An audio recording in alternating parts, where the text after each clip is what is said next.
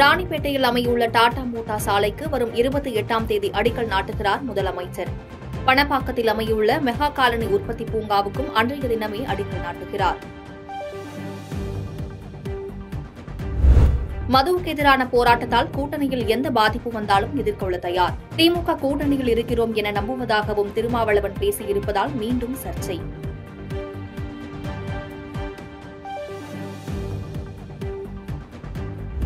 காஞ்சிபுரம் மாவட்ட ஆட்சியர் அலுவலகத்தை முற்றுகையிட சென்ற சாம்சங் ஆலை தொழிலாளர்கள் ஐம்பதுக்கும் மேற்பட்டோர் கைது. ஊதிய உயர்வு கோரி போராட்டம் நடத்தி வரும் நிலையில் நடவடிக்கை.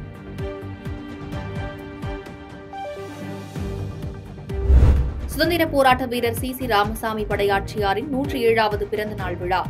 திருவுருவ சிலைக்கு முதலமைச்சர் மு. க. ஸ்டாலின் மாலை அணிவித்து மரியாதை. ஆபரண தங்கத்தின் விலை சவரனுக்கு நூற்று இருபது ரூபாய் அதிகரிப்பு. சென்னையில் ஒரு கிராம் ஆறாயிரத்து எண்ணூற்று எண்பது ரூபாய்க்கும் ஒரு சவரன் ஐம்பத்தைந்தாயிரத்து நாற்பது ரூபாய்க்கும் விற்பனை.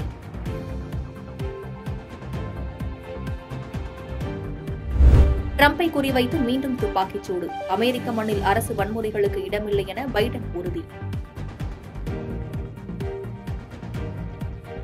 புதுச்சேரியில் சிறுமி கொடூர கொலையில் கைது செய்யப்பட்டவர் சிறையில் தூக்கிட்டு தற்கொலை.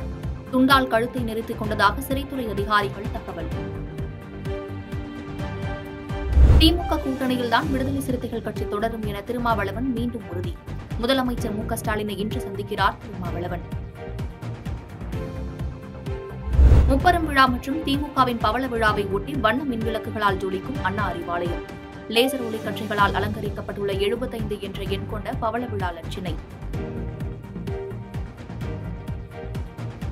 பிரதமர் தொடங்கி வைத்த வந்தே பாரத் ரயிலில் ஒடிசா முதலமைச்சர் மோகன் சரண் மாஜி பயணம். ரயிலில் பயணம் செய்த பள்ளி மாணவ மாணவிகளுடன் உரையாடல். ராஞ்சியிலிருந்து டெல்லி செல்லும் விமானம் தொழில்நுட்ப கோளாறு காரணமாக ஐந்து மணி நேரம் தாமதம். விமானத்தின் உள்ளே பல மணி நேரம் காத்திருக்க வைக்கப்பட்ட பயணிகள் விமானம் ரத்து செய்யப்பட்டு இறக்கிவிடப்பட்டதாக தகவல். பிரதமர் மோடியின் எழுபத்து நான்காவது பிறந்த நாளை முன்னிட்டு தானியங்களால் சித்திரம் வரைந்த சென்னையைச் சேர்ந்த பதிமூன்று வயது சிறுமி. பனிரெண்டு மணி நேரம் தொடர்ச்சியாக அழகான சித்திரத்தை உருவாக்கினார் பிரசி ஷெகினா. உத்தரப்பிரதேச மாநிலம் பிரியாக்ராஜ் பகுதியில் யமுனை மற்றும் கங்கை நதிகளில் நீர்மட்டம் அதிகரிப்பு. வெள்ளத்தில் மூழ்கிய கரையோர குடியிருப்பு பகுதிகளில் ரப்பர் படகுகளில் சென்று மீட்பு மற்றும் நிவாரணப் பணிகளை மேற்கொண்ட பேரிடர் மீட்புப் படையினர். பாதகம் செய்பவரை கண்டால் நாம் பயங்கொள்ளலாகாது பாப்பா. மோதி மிதித்து விடு பாப்பா அவர் முகத்தில் உமிழ்ந்து விடு பாப்பா. அண்மை செய்திகளை உடனுக்குடன் தெரிந்து கொள்ள இணைந்திருங்கள் இயம்நாடு தொலைக்காட்சியுடன்.